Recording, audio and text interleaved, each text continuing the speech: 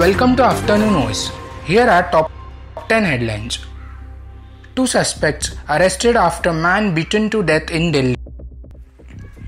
Demand for eco-friendly idols rises in Hyderabad ahead of Ganeshotsav. Court lists 2008 Soumya Vishwanathan murder case for final argument.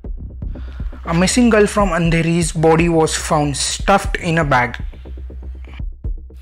Rajnath Singh hails India's rising global credibility. Anil Deshmukh taken to JJ Hospital, complains of chest pain. BMC cautions on use of 13 bridges for Ganeshotsav. 1.5 lakh citizens to travel by MSRTC buses to Konkan during Ganeshotsav. Three held for slaughtering cattle in Delhi.